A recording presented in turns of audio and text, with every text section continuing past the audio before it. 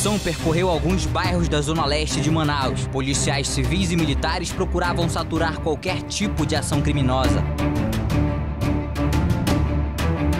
Além do nosso trabalho que nós montamos todos os dias, aproximadamente na capital, 800 viaturas, policiamento no interior, a Polícia Militar está nessas operações.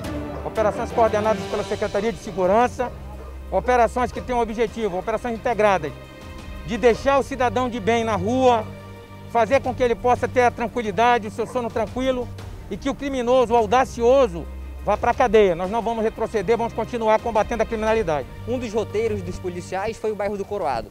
Ao chegar na rua Três Irmãos, eles avistaram três pessoas que correram para dentro dessa casa verde. Se esconderam lá, mas não deu para eles. Com os três, a polícia encontrou drogas e uma arma de fogo. As prisões foram feitas depois de uma denúncia aos policiais. Essa aqui foi uma, uma operação importante. Nós recebemos informação, inclusive, onde os marginais estavam se homiziando. Nós fizemos todo um trabalho de inteligência. Polícia Militar e Polícia Civil trabalhando integradas, localizamos droga e arma aqui nesse local. Ainda segundo o secretário, com a redução de casos de Covid-19 aqui no estado, a polícia volta a atuar com força máxima. Em razão da pandemia, nós tínhamos dado uma retraída nessas operações para garantir a saúde, primeiramente, dos nossos policiais.